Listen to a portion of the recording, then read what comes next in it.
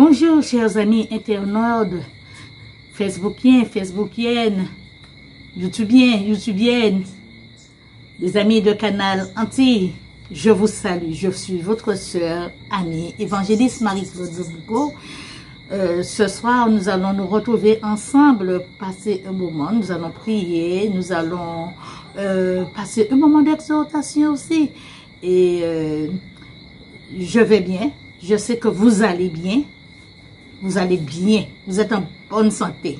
Même si vous avez des rhumatismes, vous avez quelque chose, mais dit, tout va bien. Au nom de Jésus, je vous encourage à ne pas baisser les bras. Surtout ceux qui sont malades du Covid, ne baissez pas les bras, continuez à vous battre. Ceux qui ne l'ont pas encore eu, protégez-vous. Parce qu'on ne peut faire que ça. Nous savons qu'il n'y a pas de virus, il n'y a pas de médicaments, mais euh, c'est seulement en nous protégeant voilà. En, nous, en, faisant tout euh, ce que nous faisons, mais en, avec amour. Nous devons faire avec amour, nous ne devons pas laisser l'amour périr quand même. Hein. L'amour doit demeurer dans nos cœurs. Je salue le bishop Elie, je salue tout son staff, voilà, le staff qui travaille en étroite collaboration avec lui. Je vous salue, mes chers bien-aimés, je salue les églises, alléluia, les églises de la CRGC, les églises de toutes les assemblées, je salue tous les pasteurs, je vous encourage à tenir bon, parce que euh, ne, laissez pas la peur vous empêcher d'avancer, mais tous ceux qui n'ont pas encore eu le, Covid, protégez-vous. Ceux qui l'ont, gardez courage. Et je salue aussi euh, tous ceux et toutes celles, euh, les infirmiers, les médecins, tous ceux qui sont dans le côté scientifique, qui s'occupent des malades de près, de loin. Voilà, je, je demande à Dieu vraiment de bénir tous ceux qui, euh, tous les scientifiques, afin vraiment qu'ils puissent trouver euh, un vaccin ou, pour, pour, euh, ce virus, parce que nous savons que c'est chaque année qu'il y a des virus, soit doux ou méchants. Mais celui-là, il est méchant, il est macabré, nous devons nous battre avec. En attendant, mes chers bien-aimés, nous, nous nous protégeons, comme disent les autorités, par le biais du masque, en se lavant les mains, en ne pas se toucher, ne pas se toucher les yeux, ne pas se toucher la bouche, ne pas faire des embrassades, mais virtuellement là, je vous fais un gros câlin.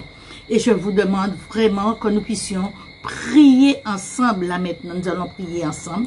Nous allons mettre ce moment entre les mains de Dieu. Parce que vraiment, il est bon que des frères s'entretiennent, qu'ils s'entretiennent ensemble. Prions, soyons unis dans un même cœur. Parce, qu'il est écrit au Somme 25 verset 14, l'amitié de l'Éternel est pour ceux qui le craignent et son alliance leur donne instruction. Alléluia. Jésus a dit qu'il est notre ami. Alléluia. Son, son, son, amitié est pour ceux qui le craignent. Nous devons le craindre. Nous devons vraiment euh, faire de, notre mieux pour ne pas tomber dans, dans, dans, les pièges de l'ennemi parce que nous savons qu'il qu'il guette. Dieu nous a appelés, il nous a équipés parce que nous sommes dans un combat spirituel. Bien aimé, nous sommes en combat. Alléluia, qu'on le veuille ou pas. Le monde des ténèbres est acharné contre la terre. Le monde des ténèbres est acharné contre nous. Mais Dieu nous a donné des armes pour combattre qui ne sont pas charnelles mais spirituelles. Alléluia. Dans le livre d'Éphésiens 6 à 10, il nous a donné des armes pour pouvoir combattre, pour nous équiper comme des véritables soldats parce que nous sommes une armée. Je vais vous... Nous sommes une armée. Amen. Euh, nous allons prier. Ensemble, nous allons prier. Avant de vous faire écouter ce chant qui vous dit, pas décourager. La vie, c'est un chien sans fin. Ne vous découragez pas. La vie est une chaîne sans fin. Pas laisser autres aller. Pas laisser les ténèbres prendre la main si autres. Oh, je parle à mes compatriotes. Pas quitter ténèbres prendre la main si autres. Protégez les autres parce que nous, voulons vos autres retourner en bonne santé. Amen. Prions ensemble. Père Céleste, je me remets corps, âme et esprit entre tes mains. Je te remercie de m'avoir appelé pour être ta servante au service de ton Église et de tous ceux qui ont des oreilles pour entendre le son de ta voix et répondre à ton appel. Merci de les équiper. Merci de nous équiper. Merci de nous donner des ordres. Seigneur mon Dieu, merci pour tes anges qui sont autour de nous. Merci de leur donner des ordres pour nous protéger et nous guider. Père, je veux proclamer ta parole. Je veux proclamer, Seigneur mon Dieu, ta parole sur la vie de ton peuple, Seigneur, car j'ai choisi de t'honorer dans toutes mes actions. Je te prierai, te louerai et t'adorer et t'adorer tant que je respirerai, Seigneur, tant que je vivrai, Seigneur, mon Dieu, mon roi. Je te rends grâce, oh mon bon papa Jéhovah, je te rends grâce. Je te rends grâce, Père désarmé, pour la vie que tu nous as donnée, pour ma vie, pour nos corps, pour notre âme, pour notre esprit, Seigneur, mon Dieu, mon roi. Oui, c'est toi le grand médecin par excellence. Tu prends soin de nous. Je te remercie, Seigneur, mon Dieu, pour nos cœurs qui est le moteur de notre vie. Que tu entretiens pour nous, Seigneur, mon Dieu, pour ce cœur d'amour, Seigneur, que nous tu nous as donné pour t'aimer et pour nous aimer les uns les autres, Seigneur, car tu nous as demandé de nous aimer les uns les autres comme toi, tu nous as aimés. Merci de nous garder en bonne santé, Père Saint, parce que tu es le Fils, le Saint-Esprit, Papa. Merci Seigneur, mon Dieu, mon roi. Merci toi le grand médecin par excellence, toi le grand chirurgien, toi le grand chercheur, toi le grand scientifique, Seigneur, mon Dieu, mon roi. Parce que Seigneur, mon Dieu, tu nous as pas créés en vain, Seigneur. Tu nous as créés avec des bons matériaux, Seigneur. Permets, Seigneur, mon Dieu, que nous puissions mettre toute animosité, tout ce qui ne vient pas de toi de côté, Papa. Et que nous puissions, Seigneur, mon Dieu, mon roi, nous, nous réconcilier, nous repentir, Seigneur, mon Dieu, mon roi. Car tu es le Dieu de la repentance, Seigneur, mon Dieu, mon roi. Nous te demandons pardon, Seigneur, mon Dieu, pardon pour tout ce que nous avons fait, Seigneur. Fait, dis, Seigneur, mon Dieu, mon roi, qui n'était pas à ta gloire, papa. Pardonne-nous, Seigneur. Pardonne toutes les fois, Seigneur. Nous avons gardé la rancune, la haine, Seigneur, mon Dieu, l'animosité, Seigneur, dans nos cœurs, Seigneur. Pardon, Seigneur, pour tous ces virus toxiques, Seigneur, mon Dieu, mon roi, qui ont permis que nous soyons anxieux, Seigneur, mon Dieu, mon roi, que nous soyons tristes, Seigneur, mon Dieu, que nous soyons dépressifs, Seigneur, mon Dieu, mon roi. Seigneur, c'est toi l'antidote, c'est ton sang qui est l'antidote, Seigneur, mon Dieu, mon roi. Lave nos cœurs, Seigneur, de toute souillure, de tout ce qui ne t'appartient pas, papa. Oh, Seigneur, donne-nous la vie, Seigneur, une vie en abondance. Permets que nous puissions marcher à ta suite, Seigneur, dans un état de sainteté, papa. Ainsi, je t'ai prié, Père. Alléluia. Amen. Et maintenant, chers bien-aimés, je vais vous faire écouter ce morceau.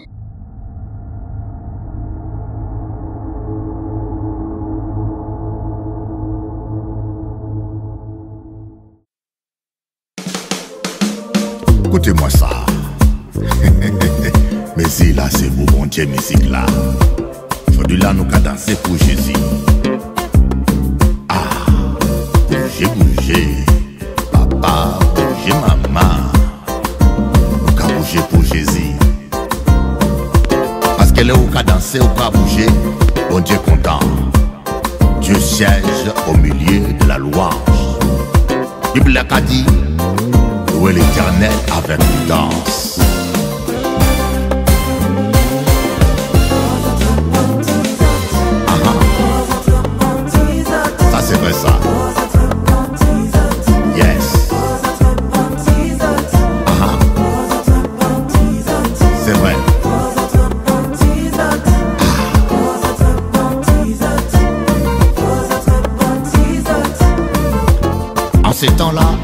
Beaucoup me diront Seigneur, Seigneur, n'avons-nous pas chassé les démons?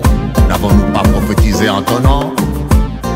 Je leur dirai, retirez-vous loin de moi, vous qui commettez l'iniquité. Un ici à radio, tu pries très bien. Un pasteur, tu prêches bien l'amour. Est-ce que l'amour est vérité dans ta maison? Est-ce que tu aimes ta femme? Dis-moi, madame la malheureuse comme ça Faut autres repentir. Produisez le fruit digne de la repentance.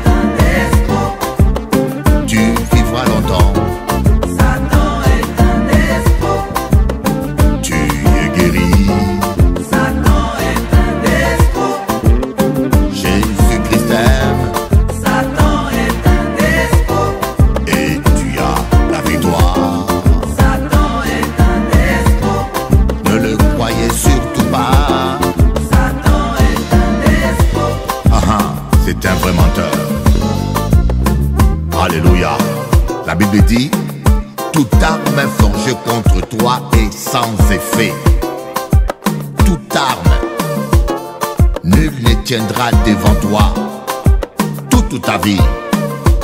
Mais il faut demeurer dans la parole de Dieu. Car celui qui s'égarde, l'ennemi ne le touche pas. De divine qui c'est l'ailleurs. Démonio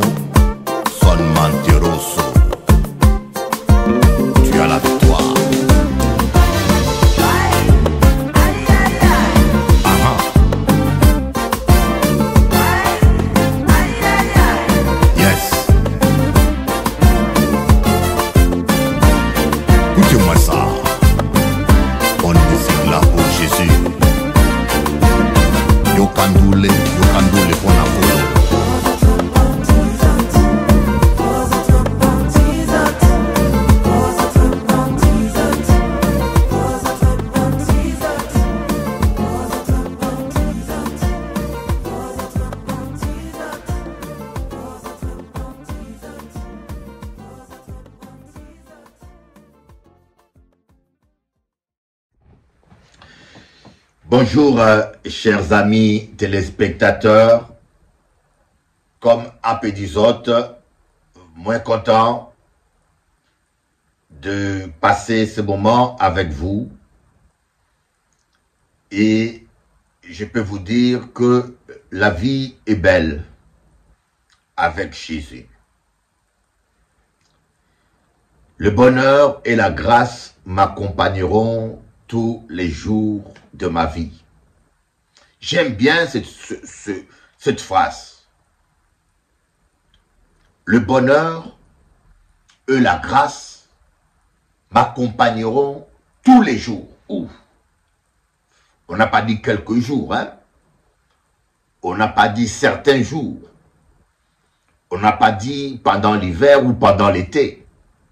David est dit, le bonheur et la grâce m'accompagneront tous les jours de ma vie. Alors, j'aimerais vous poser la question, est-ce que vous êtes franchement erré Est-ce que vous vous sentez heureux sincèrement? Je suis sûr qu'il y a beaucoup là qui sont malheureux. Il y a beaucoup. Eh oui, moi aussi parfois je me sens pas bien. Voyez? Est-ce que vraiment vous pouvez dire que le bonheur et la grâce vous accompagnent tous les jours de votre vie? Est-ce que tous les jours vous êtes heureux? Actuellement, c'est le couvre-feu. Eh bien, ça suffit pour que certaines personnes soient malheureuses. Mais je trouve que c'est pertinent cette phrase de David. Ce verset du psaume 23. Le bonheur et la grâce m'accompagneront tous les jours de ma vie. Oh my God. Euh, Je pense que euh, vous voudrez bien que cela soit vérité pour vous. N'est-ce pas? Alors, j'aimerais vous expliquer pourquoi euh, cela n'est pas toujours le cas. Rappelez-vous que tout ce que David déclare euh, dans le psaume 23 euh, découle du premier verset. Euh, Je vais expliquer. Voyez, un arbre a des racines. Voyez, un arbre a des racines, a un tronc. Le tronc de l'arbre relie les fruits, les feuilles, les branches, tous aux racines. Vous comprenez? Quand le tronc est bien nourri, donc les branches, les fruits, les feuilles seront aussi en bonne santé. Euh, C'est un peu ça. Le psaume euh, 23, c'est comme un arbre qui a un tronc. Et son tronc, c'est le premier verset. L'Éternel est mon berger. Et par conséquent, par rapport à cette illustration, euh, je m'aimerais un peu expliciter la phrase euh, finale de David. Le bonheur et la grâce m'accompagneront tous les jours de ma vie. cela veut dire que tous les jours où l'Éternel sera mon berger, tous les jours où je me laisserai conduire par l'Éternel, alors je serai heureux. Tous les jours, les jours où je laisserai le Seigneur me conduire, conduire ma journée, conduire mes occupations, conduire tout, ces jours-là, je serai heureux. Voilà pourquoi, parfois, c'est pas toujours tous les jours. Parce que nous, les chrétiens, il nous arrive que lundi, on est en communion avec Dieu, mardi, on tombe dans le péché, et mercredi, on se répand, on revient en communion avec Dieu, et jeudi, on tombe dans la distraction, et, vendredi, voyez, et, voilà pourquoi des fois, il, il vous arrive des jours où vous êtes vraiment malheureux. Et, l'une des raisons souvent est qu'il y a des jours où nous sommes vraiment malheureux. L'une des raisons pour laquelle on est souvent déconnecté du Seigneur, de l'onction de Dieu certains jours, c'est parce que démarrons, nous démarrons parfois nos journées sans la prière. Parce que nous démarrons la journée sans la prière. Dites-moi comment la journée commence et je vous dirai comment votre journée sera et comment il va terminer. Le commencement est très important. Si vous commencez avec Dieu, vous allez terminer avec Dieu. Si est votre alpha, il sera votre oméga. Il est le commencement et la fin. Il ne peut pas être que la fin. Il faut commencer avec lui. Il faut commencer la journée par la prière comme on le fait là. Vous voyez, commencer la journée avant d'aborder euh, euh, les factures, avant même de, de discuter avec votre mari ou avec vos enfants, commencer la journée avec la prière, même quand il fait froid, même quand il fait chaud, même quand c'est désagréable, même quand vous êtes malade, mais commencez seulement à louer, à louer, à chanter pour l'éternel, à glorifier l'éternel, à réclamer le sang de Jésus-Christ sur vous. Commencez la journée par la prière, continuez, louer, adorer, et, et vous allez voir que vous allez terminer la journée avec lui. Il va vous accompagner. Donc le psaume 23 euh, euh, des fois, malheureusement, beaucoup de chrétiens n'ont pas compris ce psaume-là. C'est l'un des psaumes le plus connus. Et c'est l'un des psaumes le plus important. Parce que le psaume 23 nous montre la clé du bonheur. Moi, j'appelle le psaume 23, il y en a qui euh, qui titre le psaume 23 euh, L'Éternel est mon berger. Bon, c'est bon aussi. Et, moi, je pourrais vous donner un autre titre du psaume 23. La clé du bonheur.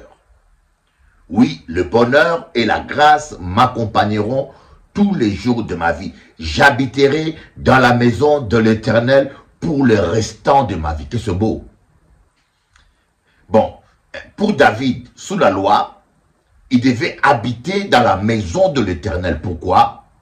Il rêvait de cela parce que c'est là où il y avait la présence de Dieu. Il aimait tellement la présence de Dieu, il aimait tellement l'onction qu'il voulait eh, demeurer eh, dans la présence de Dieu tous les restants de sa vie.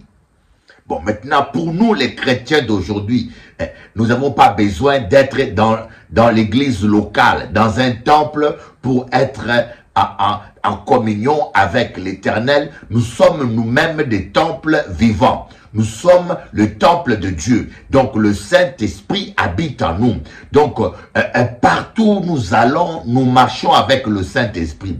Donc euh, je, je, pourrais expliciter, euh, expliquer, euh, exprimer, voilà, exprimer plutôt ce verset autrement.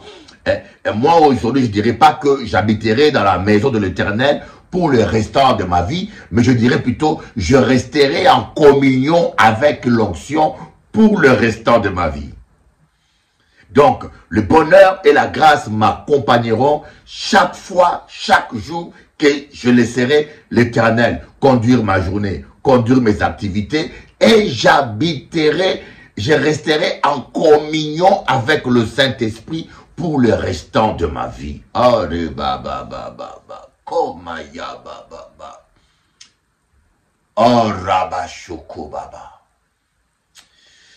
Je sens qu'il y a quelqu'un qui a prié encore pour moi. L'onction que je ressens là est tellement forte, est tellement bonne. Je sais que je ne mérite pas ça. Euh, euh, il y a quelqu'un qui a prié pour moi. Je le sens. Vous savez, quand les gens prient pour moi, je le ressens. Quand les gens prient pour moi, je le ressens. Là, je ressens une onction euh, qui, franchement, je vous dis, ces deux derniers jours, vous avez remarqué que hier, je n'avais pas dirigé la prière. Hier, j'étais un peu je dis pas déprimé, mais j'étais pas en forme. D'abord, j'avais mal dormi. Et à midi, 13h30, j'avais encore sommeil.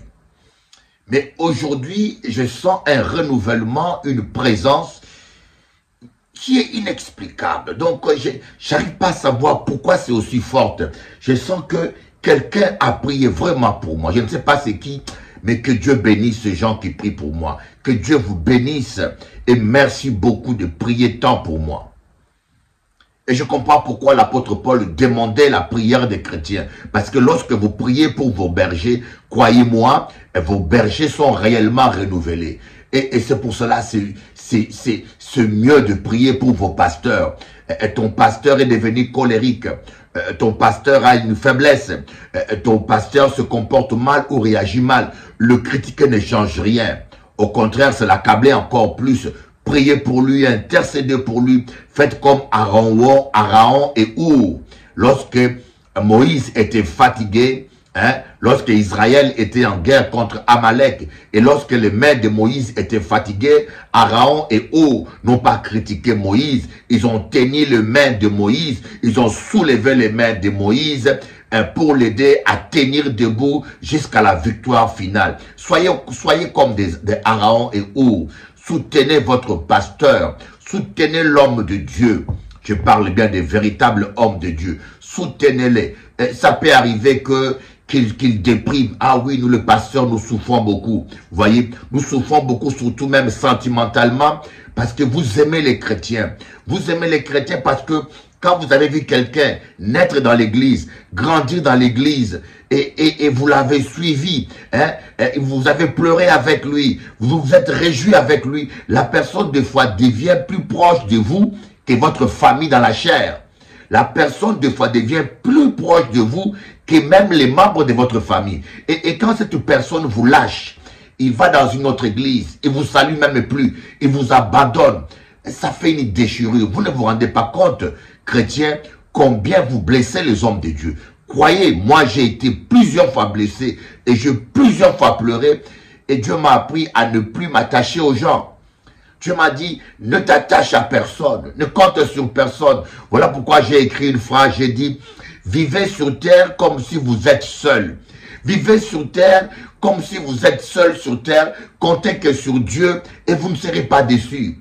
Vous aimez les gens, vous aidez les gens, et parfois, quand vous avez vitalement besoin d'eux, ils sont absents. Ils ne réagissent pas. Mais le jour où vous n'avez plus besoin d'eux, et, c'est là où ils viennent, ils viennent vous encombrer. Je me rappelle, en Guadeloupe, j'avais dormi pendant un an dans mon bureau. J'avais décidé de montrer l'exemple à quelques jeunes pasteurs que je formais, parfois qui ne voulaient pas aller euh, à Martinique, parce qu'il n'y avait pas de chambre d'hôtel, parce qu'on n'avait plus de moyens de payer l'hôtel. Et c'est pour cela que je dis pasteur français. Je suis tellement fier de cette femme. Et ce n'est pas une flatterie, je vous dis? Il faut reconnaître les gens. Voyez, il faut reconnaître les gens. Reconnaissons le bien. Je vous dis que pasteur français est une femme formidable. Elle allait chez maman Monique, à Martinique. Maman Monique peut témoigner. Elle dormait sur le fauteuil. Elle dormait sur le fauteuil. Elle me disait, elle veut pas des dépenses pour l'église. Elle dormait sur le fauteuil de Mamonique toute la nuit, pendant trois jours, quatre jours. Ça, c'est rare, ça. Que Dieu la bénisse. Que Dieu te bénisse, pasteur français. Que Dieu se rappelle de ce sacrifice. Euh, c'est une, personne dont je suis fier. Dont je suis fier. Je, je suis fier de, euh, de ce qu'elle est aujourd'hui. J'ai dit, merci Seigneur. Dans mon ministère, euh, je formais des serviteurs, mais elle, c'est l'une, c'est l'une des servantes dont je suis vraiment fier. Que Dieu nous aide. Que Dieu nous aide. Oh Saint-Esprit, aide-nous. Saint-Esprit, aide-nous à t'aimer. Saint-Esprit, je t'en supplie, attache-moi. Je veux être un prisonnier de te parvis. Je veux que tu m'attaches avec tes chaînes d'amour, avec tes mignottes d'amour et garde-moi prisonnier dans te parvis. Si un jour ma chair veut m'amener loin de toi, Seigneur, ne le permet pas. Je veux rester attaché à toi.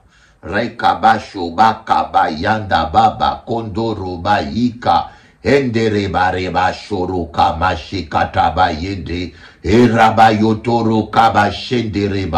Ouh, je sens l'onction, je sens l'onction fort. Je sens la présence de Dieu. Je sens une onction tellement forte. Béni sois-tu Dieu, tu es digne d'être adoré. Béni sois-tu Dieu, tu es digne d'être honoré. Béni sois-tu notre Père, tu es digne de recevoir adoration et action de grâce. Rekabashalaba, shakabalaba, yakalaba, shanda kondolo, orianda shikaraba sotokoma yabababa. Alléluia. Que la vie est belle, Seigneur lorsque tu es au centre, que la vie est belle, Seigneur. Lorsque tu prends tout en contrôle, que la vie est belle, Jésus.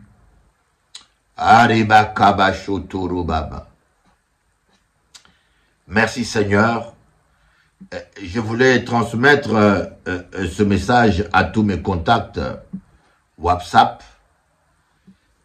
Mais les problèmes que j'ai là, j'ai l'impression que la page WhatsApp n'est plus là.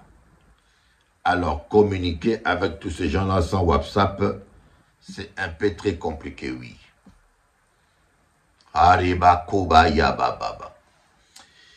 Seigneur, je crois cette parole qui dit, fais de l'éternel tes délices, il t'accordera ce que ton cœur désire. Cher ami téléspectateur, euh, je voulais te dire aujourd'hui, que si tu fais de l'éternel te délice, il t'accordera ce que ton cœur désire. Euh, je ne suis pas en train de te parler d'une religion. Mon ami, toi qui m'écoutes, je sais que le monde est malheureux. La plupart des hommes sont malheureux. La vraie joie ne vient, que de Jésus. Le vrai bonheur ne vient que de Jésus. Des fois, les gens ont l'illusion du bonheur. Parce que Satan vient voler votre joie. D'une manière ou d'une autre. Il peut vous laisser l'argent, mais il vole votre santé. Il peut vous laisser l'argent et la santé, il vole votre vie sentimentale. Il peut vous donner la vie sentimentale, l'argent et la santé, mais il vous prend votre enfant. Et le diable vient toujours voler quelque chose pour détruire votre joie. Il est jaloux de toi.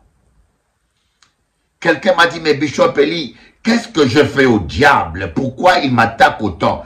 Il t'attaque autant parce que tu as pris la place qu'il avait dans le cœur de Dieu.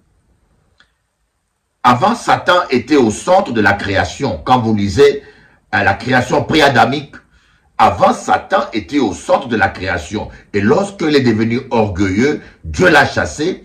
Et maintenant, c'est alors que la terre était devenue informe et vide. Parce que la terre était devenue chaotique alors Dieu a aménagé la terre et il a aménagé pour l'homme et il a donné à l'homme la place centrale et ce qui a rendu le diable jaloux et voilà pourquoi le diable a commencé à attaquer l'homme. Le diable te hait et il ne veut pas que tu sois joyeux. Mais je peux te dire, j'aimerais vraiment que à partir d'aujourd'hui, tu puisses commencer à prendre Dieu au mot. J'aimerais qu'à partir d'aujourd'hui, moi et toi, nous puissions commencer à prendre Dieu au mot. C'est-à-dire croire à tout ce que Dieu dit. Crois à 100%. La parole de Dieu dit, fais de l'éternel tes délices, il te donnera ce que ton cœur désire. Je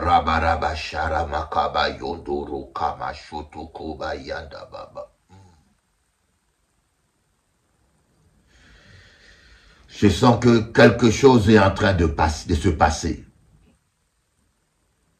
Quelque chose de puissant, quelque chose de glorieux est en train de t'arriver dans ta vie.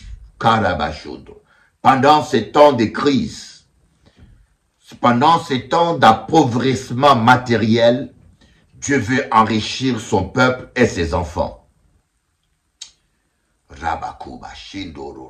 Le Seigneur veut que tu déposes ta vie, tu déposes tes fardeaux et que tu crois par la foi qu'il prend soin de toi. Crois qu'il prend soin de toi. Il faut que tu le crois. Crois que tu n'es pas seul. J'aimerais t'amener à croire. Vous savez, quand vous ne croyez pas au bonheur, vous ne vivrez jamais le bonheur. Vous pouvez prier matin, midi, soir, comme vous voulez. Écoutez bien. Vous pouvez prier matin, midi, soir, comme vous voulez. Vous pouvez gêner comme vous voulez. Mais si vous ne croyez pas au bonheur, vous ne vivrez jamais le bonheur.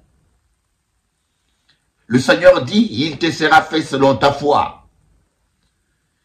Il y en a qui croient plus au bonheur conjugal, mais tu ne le vivras jamais.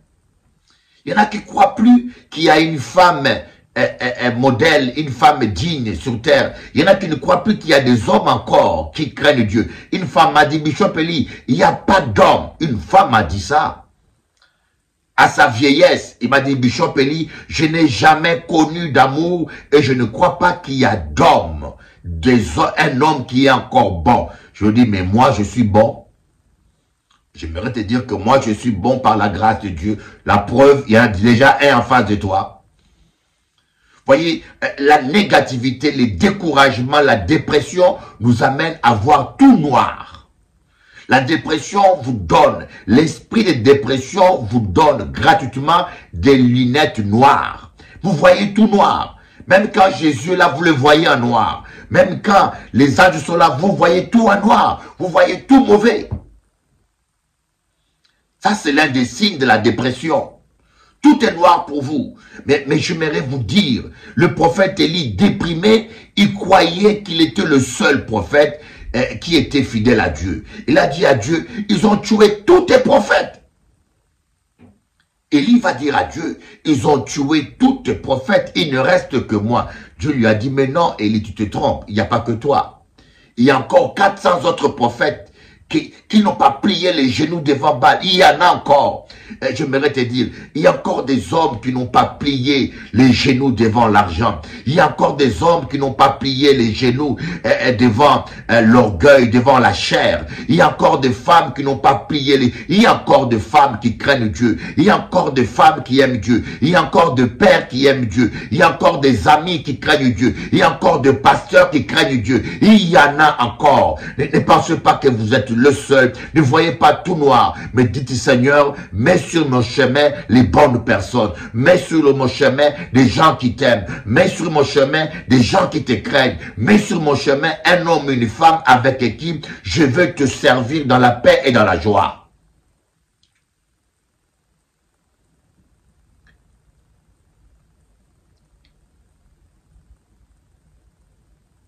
Alléluia.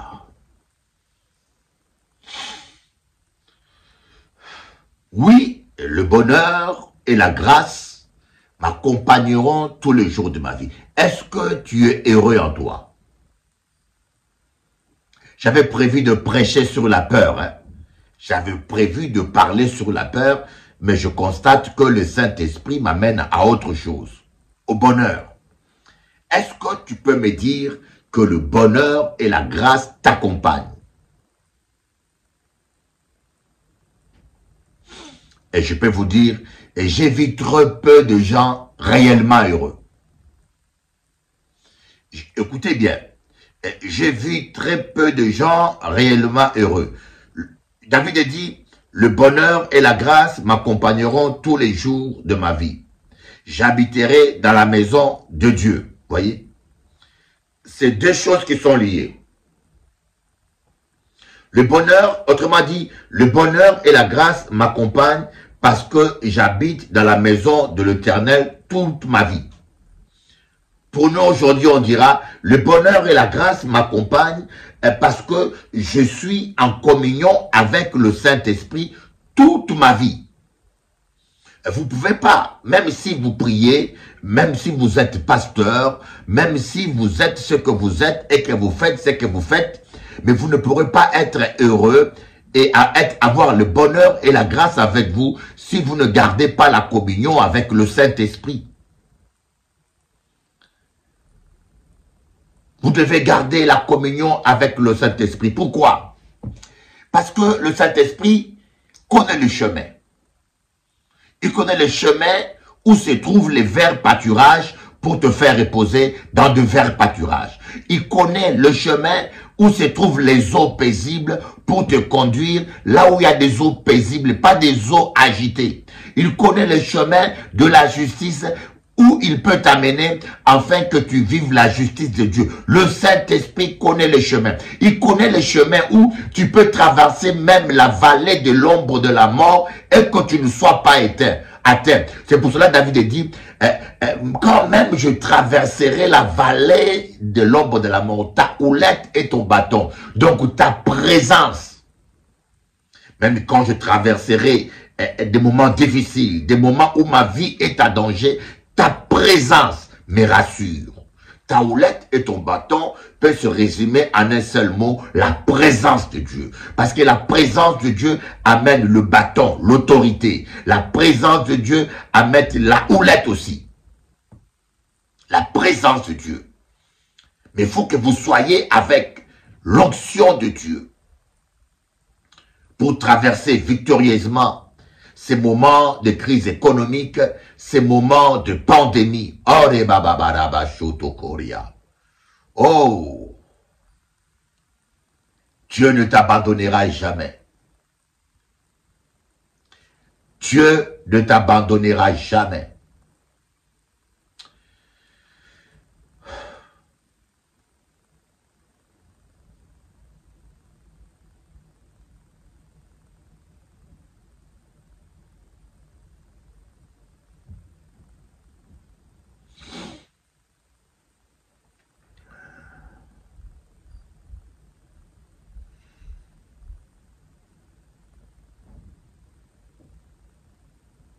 Mais voilà, euh, le frère Patrice Desbon dit, Saint-Esprit de Dieu demeure en moi. Voilà, euh, le frère Patrice me, donne une idée.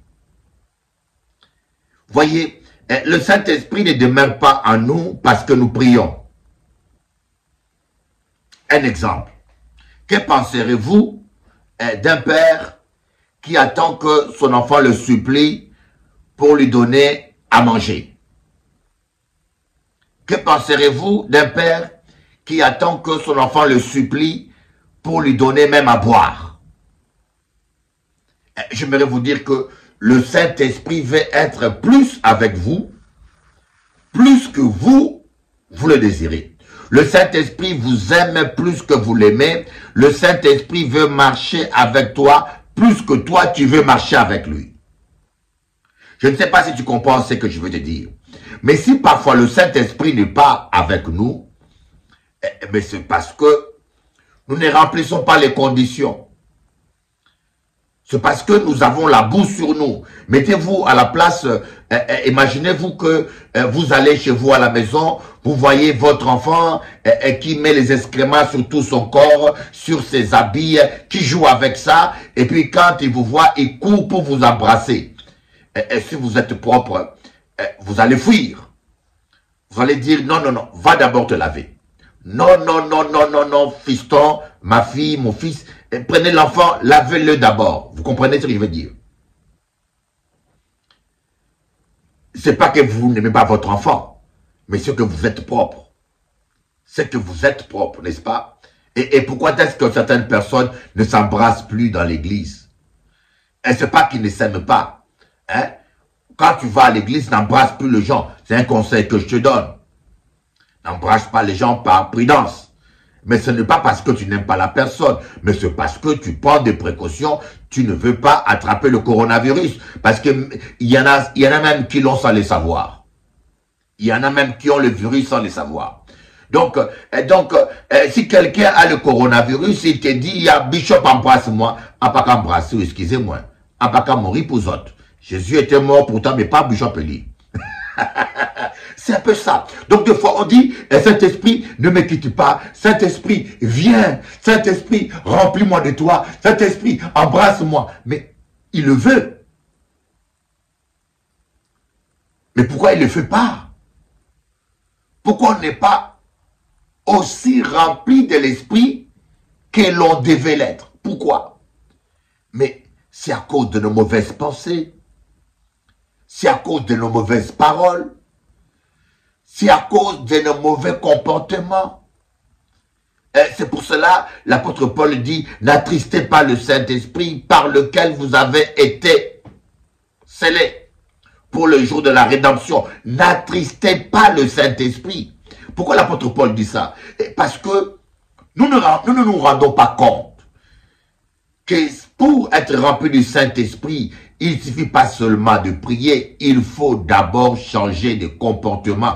J'aime le Saint-Esprit. Voilà, voilà aussi, cela m'introduit hein, dans, hein, dans l'enseignement que je voulais vous donner aujourd'hui. La crainte de Dieu et la peur de Dieu. La crainte de Dieu, c'est le respect de Dieu. La crainte est inspirée par l'amour. La peur de Dieu est inspirée par le châtiment. Je peur de Dieu parce que je peur qu'il me châtie. Quelqu'un qui vit dans la peur de Dieu, il n'a pas l'amour de Dieu. Plusieurs fois, il y a des chrétiens qui ont peur de l'enfer, qui ont peur de châtiment. Mais la crainte de Dieu, elle s'est inspirée par l'amour. J'aime tellement Dieu que je ne vais pas le blesser. J'aime tellement Dieu que je ne vais pas le décevoir. J'aime tellement le Saint-Esprit que je ne vais pas l'attrister. J'aime tellement le Saint-Esprit que je veux le respecter. J'aime tellement mon Dieu que je ne vais pas salir son nom. J'aime tellement mon Dieu que je ne vais pas pécher contre lui. J'aime tellement, vous voyez, j'ai la crainte de Dieu. La crainte est, est a pour racine l'amour, alors que la peur, c'est le châtiment. Je peur de faire ça parce que Dieu va me frapper. Je peur de faire ça parce que je risque d'aller en enfer. Je peur. Or, l'amour parfait bannit la peur. Quand on dit l'amour parfait bannit la crainte, l'expression exacte c'est l'amour parfait bannit la peur. Parce que la Bible ne peut pas nous demander d'avoir la crainte de Dieu et dire que l'amour parfait bannit la crainte de Dieu. C'est contradictoire. Ici, quand on utilise le mot peur, hein, le, mot crainte, il y, a, des contextes où le mot crainte est synonyme de, de la peur. La peur et la crainte, parfois, dans certains contextes, sont synonymes. Mais quand on dit l'amour parfait bannit la crainte, ici l'expression exacte c'est l'amour parfait bannit la peur. Et quand l'apôtre Paul dit la crainte, ici il suppose la crainte du châtiment. Et la crainte du châtiment, c'est rien d'autre que la peur. Alléluia. Et lorsque vous aimez vraiment le Saint-Esprit, il y a des choses que vous ne ferez plus. Vous ne pouvez pas vous imaginer j'aimerais vous donner un témoignage. Et c'est la raison pour laquelle les puissances des ténèbres veulent toujours que vous péchiez. Le diable est prêt à vous donner la plus belle femme que vous ne méritez même pas, pourvu que vous péchiez. Quel est l'intérêt que le diable a lorsque nous péchons? C'est que nous perdons notre autorité spirituelle et nous perdons la présence de Dieu. Je voudrais vous donner un témoignage euh, d'un homme qui a marqué l'histoire de l'Église. Il s'appelait Smith Wigglesworth. Euh, cet homme-là, dans la grâce de Dieu, il a pu ressusciter euh, plus de plus de sept morts. ça peut vous choquer. Euh, ça peut vous choquer, euh, mais c'est la vérité. cet homme-là a pu ressusciter plus de sept morts. Un jour, il avait tellement prié, il avait tellement prié qu'il a pris un temps, un train. Il rentre dans le train, il s'assoit. Il parle en langue dans son cœur, il, il prie, il parle à Dieu pendant tout le trajet. Écoutez bien. Et lorsque le train est arrivé, commençait à arriver, euh, à l'arrivée bien sûr, il est allé laver ses mains. Il s'est levé, il est allé laver le main dans le wagon où il était. Une fois qu'il a fini de laver le main, quand il retourne pour prendre sa chaise et s'asseoir, il voit que tout le wagon, tous les hommes qui sont dans les wagons sont à genoux. Il voit tous les gens assis dans le wagon à genoux. Il était choqué. Inexplicable. Tous ces gens à genoux. Ils étaient touchés par l'onction. Même sans parole. Vous savez qu'il y a des gens à qui vous ne devez même pas prêcher la parole. Seulement votre présence les saisit et les amène à la repentance. Oh, voilà ce que le diable redoute. Que vous soyez remplis à ce niveau-là. Voilà ce que le diable a peur. Il n'a pas peur de bombes atomiques. Il n'a pas peur de coronavirus. Non, il a peur que vous soyez remplis à ce point-là. J'ai un ami à moi, quelqu'un que je connais personnellement, Steve Ryder. C'est un apôtre qui est en Australie. Je suis allé le voir. Il m'a dit, il avait fait trois jours de jeûne. Le Saint-Esprit l'avait tellement rempli qu'il y avait une femme catholique, une sœur catholique, qui était dans le coma. Voilà, sous oxygène. Une sœur catholique, religieuse, dans le coma à l'hôpital. Les religieuses ont entendu parler des miracles que Dieu faisait au travers de Steve Ryder. Et les religieuses l'ont demandé de venir prier pour cette sœur-là qui était dans le coma. Et Steve Ryder est allé à l'hôpital. Steve Ryder me dit que lorsqu'il traversait le couloir, toutes les infirmières qui le croisaient tombaient par terre. Il n'a pas dit qu'il était pasteur. Il n'a pas parlé de Jésus. Mais il traversait seulement le couloir. Tous les gens qui le croisaient tombaient. Oh my God. Il n'y a pas longtemps, quand je suis arrivé dans ce bâtiment, j'étais en train de prier. Je suis au deuxième étage. Au premier étage, il y a une femme métropolitaine qui est mariée avec un Martiniquais. Pendant que je loue, je chante, et, et, et, son mari a voulu euh, me dire d'arrêter de faire du bruit. Sa femme lui a dit, eh, il faut pas qu'il arrête. Chaque fois qu'il chante, eh, ma douleur s'en va. Parce qu'elle avait mal au pied. Chaque fois que cet homme l'a pris, il chante, je sens un soulagement sur mon pied. Et, cette femme-là qui est en dessous de, mon immeuble, elle est allée voir la gardienne. Elle a dit à la gardienne, c'est qui cet homme-là qui habite au deuxième étage? Et la gardienne lui a dit, c'est un pasteur. Elle a dit, ah, je comprends maintenant. Chaque fois qu'il chante ses cantiques, et chaque fois qu'il prie, je sens mon pied soulagé. La douleur s'en va. Maya maya kabaya basaba. Et là, yala kamayoto kabayoto koba. Oh Dieu, aide-nous à comprendre, aide-nous à comprendre, aide-nous à comprendre ces choses que tu veux agir avec nous. Tu veux faire au-delà de ce que nous pouvons penser et imaginer. Rakatoko. Oh Dieu, fais-nous grâce. Rotoshitabakabashetekebe. Kiribarabayotoro. Mm, yes. Pardonne-moi, Seigneur. Pardonne-moi. Alléluia. Oh, je sens une onction terrible. Je sens une onction terrible. Aujourd'hui, je ne sais pas qui a prié pour moi vraiment, mais il y a quelqu'un qui a prié pour moi, qui a vraiment prié, que Dieu a exaucé, c'est pas possible. Je sens quelque chose de très fort ce matin. Oh, rakaba shoyo baba, shiko yo maba. Yendele barababa. Il peut faire au-delà de ce que nous pensons et imaginons. Oh, notre Dieu peut faire au-delà. Il peut faire au-delà. Il peut faire au-delà, notre Dieu. Écoutez-moi bien. Il peut faire au-delà. Et il va faire au-delà.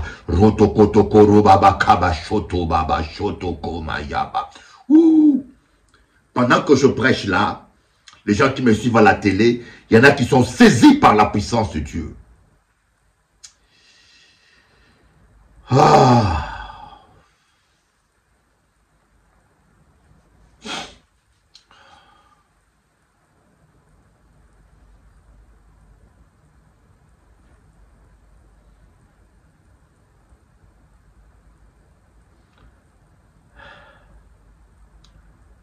J'aime Jésus. La plus belle chose qui me soit arrivée dans la vie, c'est d'avoir connu Jésus, de l'avoir rencontré, et s'il fallait refaire ma vie, comme j'avais écrit à une de mes filles spirituelles, je lui ai dit, s'il fallait refaire ma vie, je regrette pas, je referais exactement ce que je fais pour mon Dieu. J'aiderai les gens, même ceux qui ont été ingrats. La seule chose que je ne ferai pas, c'est certaines erreurs que j'ai fait dans ma vie. Qui ont empêché, qui n'ont pas permis que la gloire de Dieu se manifeste comme elle aurait dû se manifester. Attachez-vous à Dieu. Vous n'allez jamais les regretter. Il est le Dieu fidèle. Il est le Dieu grand et redoutable. Ayabako Basheke. Et j'aimerais vous dire une chose, que le meilleur est devant vous. J'aimerais vous dire une chose, que le meilleur est devant vous. Le meilleur est devant vous. Le meilleur est devant vous. Et, et si vous laissez le Saint-Esprit diriger votre vie, Lorsqu'il vous manquera des sous, il vous montrera où se cache le poisson avec les lingots d'or dans sa bouche. Et vous allez envoyer votre fils ou votre mari attraper ce poisson à la plage de Boisolan ou à la plage de Gosier. Lorsqu'il vous manquera des transports, Dieu, le Saint-Esprit vous montrera où se trouve cet âne que personne n'est jamais monté dessus. Et il vous, il vous indiquera l'endroit pour que vous rentrez d'une manière digne en plein Jérusalem. Il est le Saint-Esprit, il est celui qui vous guidera, il est celui qui vous montrera le chemin qu'il faut. Voilà pourquoi on doit respecter le Saint-Esprit. Voilà pourquoi vous devez vous éloigner du péché. Voilà pourquoi vous devez vous séparer du péché. Voilà pourquoi vous devez réclamer le sang de Jésus-Christ. Voilà pourquoi vous ne devez pas dormir avec la haine, avec la rancune. Voilà pourquoi vous devez mettre masque dans votre bouche. Vous devez arrêter de parler. Vous devez arrêter de parler mal des gens. Vous devez arrêter avec votre bouche là. Il est temps que vous mettez un masque. Vous devez mettre un masque. Vous devez mettre un masque comme ça. Voilà, voilà, voilà. Vous devez mettre un masque. Pour la gloire de Dieu, vous devez mettre un masque Hein, ne plus parler du mal des gens, ne plus calomnier les gens, ne plus critiquer les gens, ne plus condamner les gens, que de votre bouche ne sorte que l'eau douce et pas l'eau amère.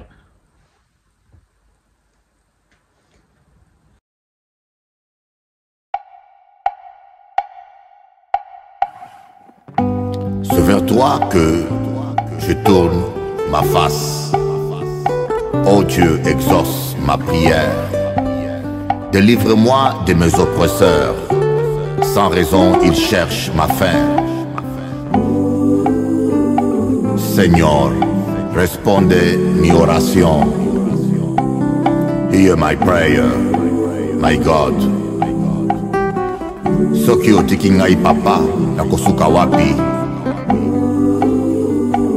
C'est toi ma force, Jésus. Et c'est toi que j'aime. C'est toi ma sécurité. Ne me laisse pas un seul instant seul. C'est toi que j'aime. I love you, my God. Yo te amo, Jesus Cristo. Je t'aime Jésus. Je t'aime Jésus. Te amo mucho, Jesús. Te mucho, mi Señor.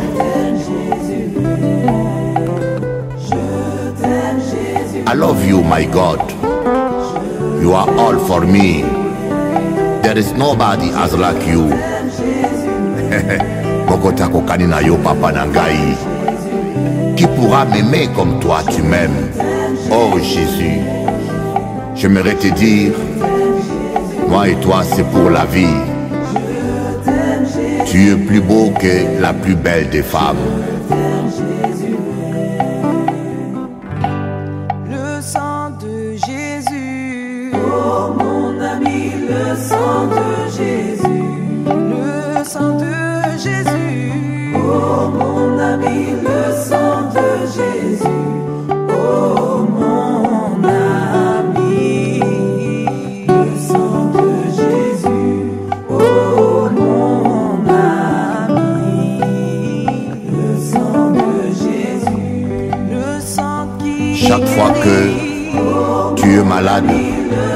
Chaque fois que tu te sens perdu, chaque fois que tu sens que tu es oppressé, chante ce chant. Chante ce chant et invoque le sang de Jésus. Les démons ne peuvent pas résister au sang de l'agneau. le sang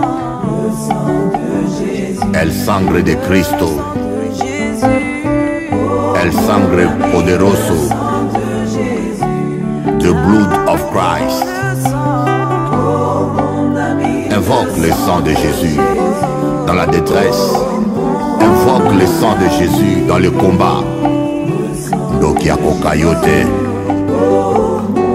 Le sang de Jésus nous purifie de tout péché. Le sang de Jésus t'ouvre l'accès au ciel. Et le diable ne peut pas résister au sang de l'agneau. Invoquons le sang de Jésus. Il ne se lasse pas de pardonner. Il n'y a aucun péché trop puissant devant le sang de Jésus.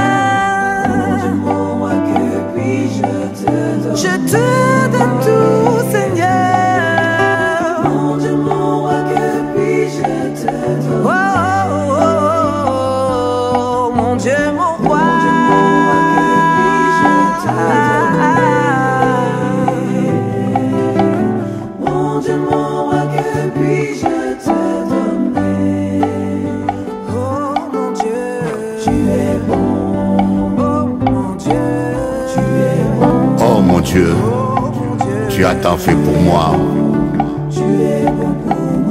Beaucoup ne sont plus là. Certains sont tombés. Certains t'ont abandonné. Tu m'as gardé fidèle à toi. Oh Jésus, gracias Saint-Esprit. por todos que tú haces en mi vida, para tu paciencia. Gracias Jesús. Thank you Lord for everything you do in my life. You are so good for me. Merci Jésus. Merci pour tout. Merci pour ton sang. Merci pour ta longanimité. Jésus. Studio Mezo. Esika ya calme. Musala ya propre. Pe ya kimia. Awa bayibaka te.